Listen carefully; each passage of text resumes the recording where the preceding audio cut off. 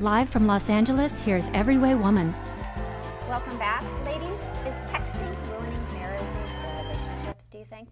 I think it is. Because you need to have the one-on-one, face-to-face time. You can't just be in front of your electronic device because Yeah. that's so impersonal. Well, I think it could be helpful if, if you're far away or if they're at work or something is an important message. Right. But I think I had read where couples are texting each other from different rooms of the house. Well, see, that's outrageous, and that's when it would ruin a marriage. But the thing is, Yeah. that makes no sense. Why are you doing that?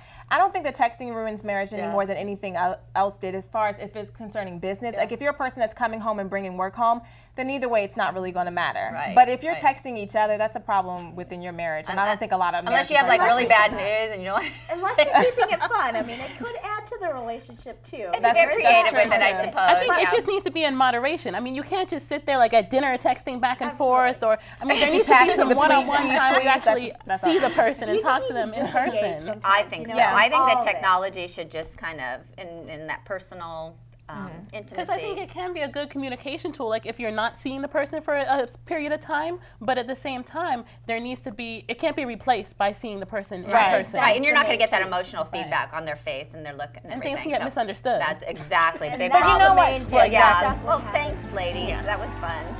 Thank you for joining us. We'll be right back.